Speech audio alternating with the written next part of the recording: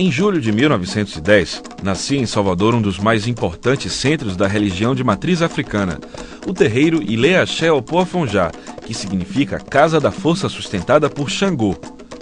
Fundado por Eugênia Ana dos Santos, ou Manhaninha como ficou conhecida, a Yalorixá que foi também responsável por grandes avanços para a religião dos orixás, entre eles a liberação do culto na década de 1930, após uma audiência com o então presidente Getúlio Vargas. Daí, tem-se muito para comemorar. Para nós de axé, principalmente para mim, que estou responsável por um axé, é uma glória ter tido oportunidade de ver completar 100 anos uma entidade como essa, no mesmo lugar, de uma maneira mais acessível do que era antigamente.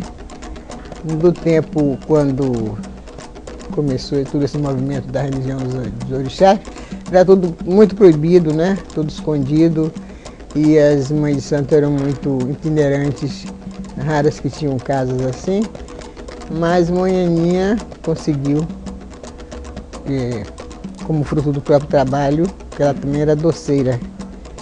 Ela conseguiu juntar dinheiro e comprar esse espaço aqui. A de Aô, a de Oiá. Na África, cada orixá tem a sua tribo, tem a sua cidade, né? Então ela não podia nesse pequeno espaço fazer uma cidade para cada um. É como se fosse cada casa de orixá fosse a sua tribo, fosse a sua cidade. Que temos aqui, Casa de Xangô, temos a casa de Oxalá, a casa de Manjá, a casa de Oxum, de Oxóssi, todos os orixás, cada um tem a sua casa e cada um tem o seu culto diferenciado no dia próprio. E, inclusive também muitas coisas sociais, como a questão do corpo de Obás, que são considerados os ministros de Xangô. Então ele também conseguiu instituir isso aqui, como também outros cargos que aconteceram, que vieram direto da África para aqui. Manhaninha, preocupada com a educação dos seus descendentes, fez a seguinte afirmação: Quero ver meus filhos aos pés de Xangô com anel de doutor.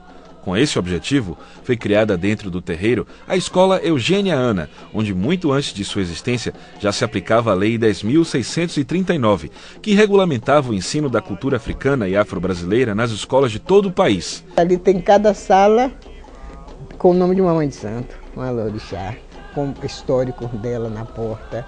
Elas ali fazem é, histórias, lições de, de, geografia, de histórias e tudo, tudo envolvendo a crença dos orixás. O pensamento de manhã é para você saber que espírito, que ancestral também tem força espiritual. Se ela estava torcendo por nós, é evidente que a gente né, vai ter um, um resultado bom, positivo. Nesse centenário do Axé, quem faz as honras da casa é Maria Estela de Azevedo Santos, ou Mãe Estela de Oxóssi, que assumiu o comando do terreiro em 1976, após o falecimento de Mãe Senhora. É, isso que eu acredito que a gente no Orixá chama, Leste Orixá, né? Que na, na religião dos Orixás chama o Du, que é o nosso caminho, o nosso destino, né? Cada um de nós, quando nasce, já traz o seu. Pode você tomar banho de folha, fazer, mas seu destino é ali. Você pode melhorar alguns detalhes, mas seu destino é esse. O meu, quando eu nasci, 2 de maio de 25, já vim com esse destino de ser mãe de santo. Daqui foi ela que, após voltar de uma viagem à Nigéria em 1981, teve a ideia de fazer um museu ali mesmo, dentro do terreiro, e imortalizar a história de sua fundadora e da religião dos orixás.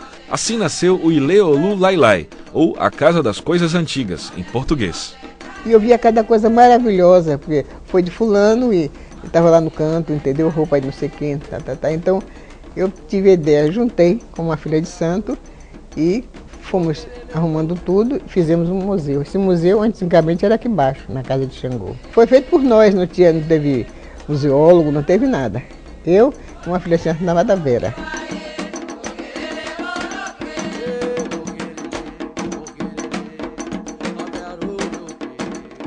Você vai, assim, vai entender mais um pouco, né?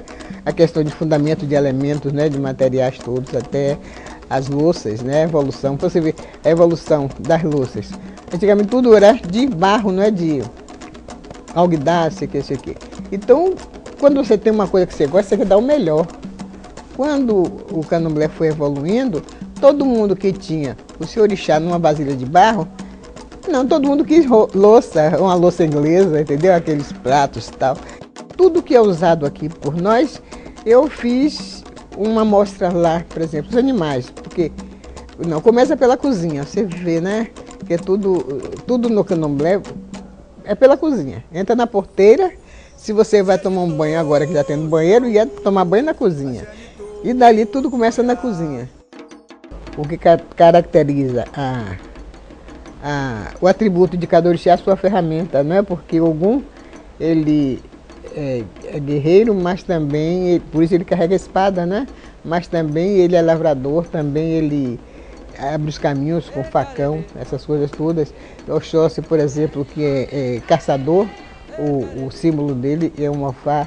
Xangô, que é guerreiro por excelência, e para ele mostrar a verdade, ele vá, porque lado for, ele quer é a verdade. Daí ele carrega aqui, aquele machado de duas faces, né? Se você for chamado ou escolhida ou, ou, ou teve mesmo a vontade de ir ingressar num axé e que é, é necessário fazer determinadas, determinados rituais que chamamos de obrigações, então se você está ali porque tem fé, então você deve ir inteira, porque as gerações futuras vai cada vez mais elevando e, e botando na, no alto a nossa crença.